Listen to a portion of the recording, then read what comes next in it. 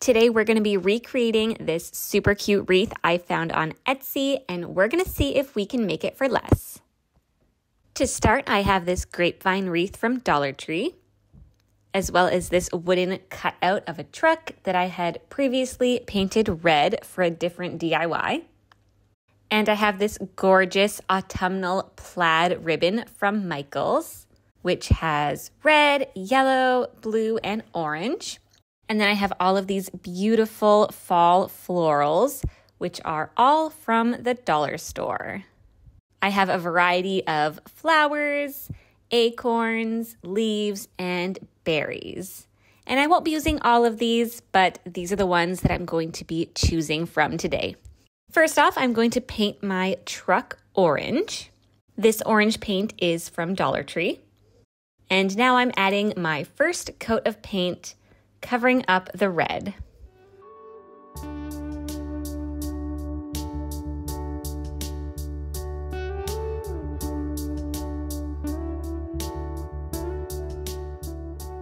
This is what it looked like after one coat. Now I'm going to be painting the box of the truck. And I had to play around with this color quite a bit here.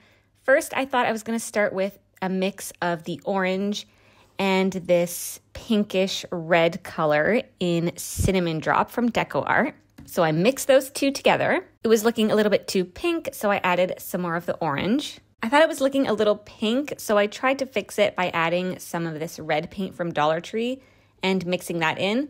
But as soon as I started painting it onto the truck, I did not like how it looked at all.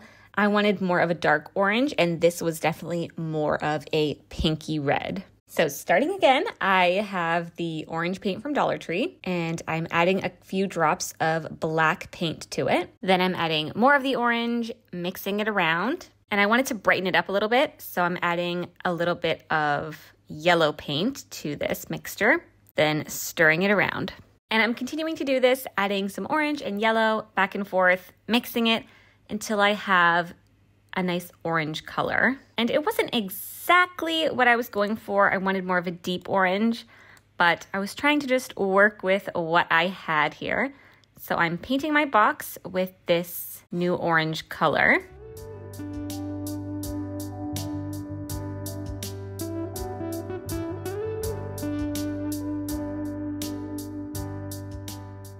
Now the box is all painted, but I really just wasn't loving it.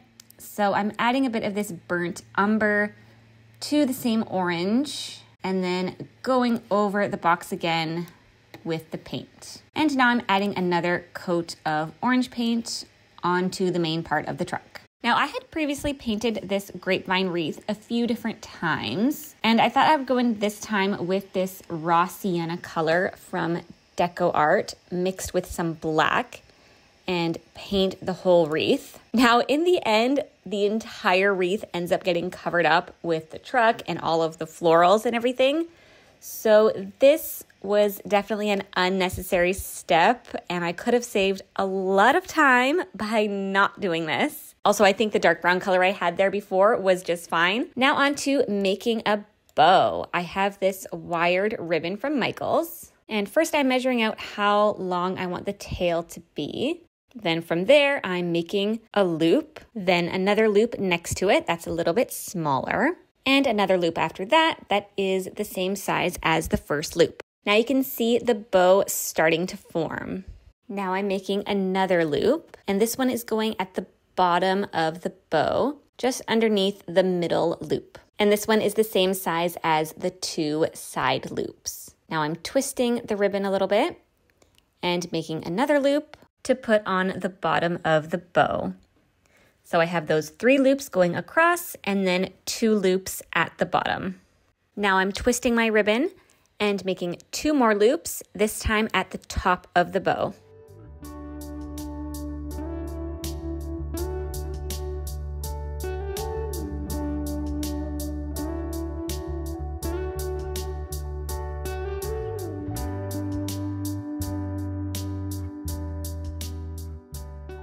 Now I have this gorgeous full looking bow and I'm taking a brown pipe cleaner and wrapping it around the base of the bow and twisting it.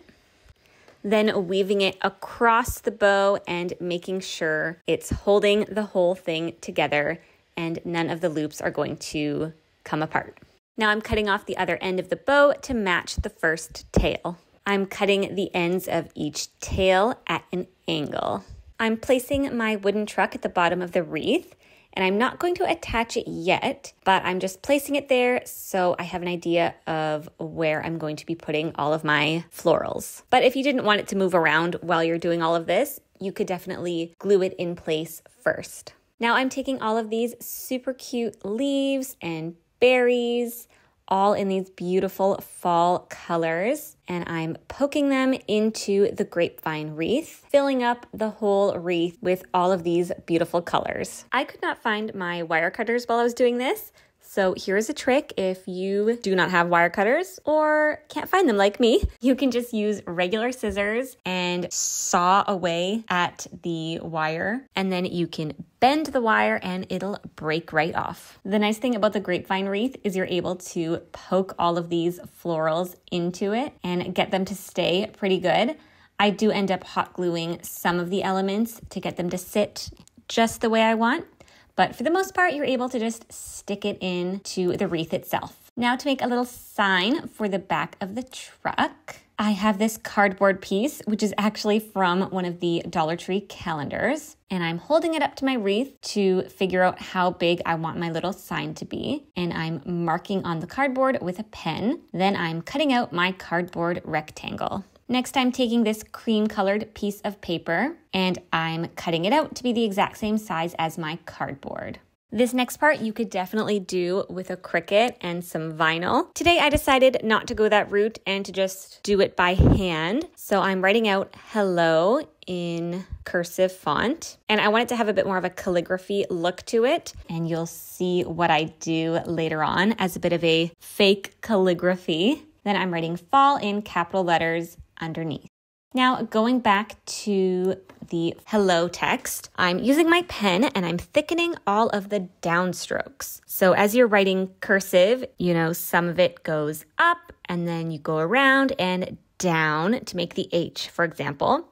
So anytime the pen is going to go down, you want that to be the thick part. So I'm going through the whole word and thickening all of those downstrokes, then coloring them in with my black pen. And I'm also making sure to connect all of the letters as I go. And this is the kind of thing where I start off a bit thinner and go through and do the whole word.